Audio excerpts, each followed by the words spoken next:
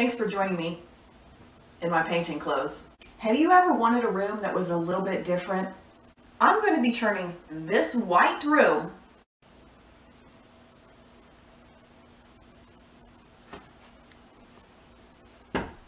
into half space, half space station.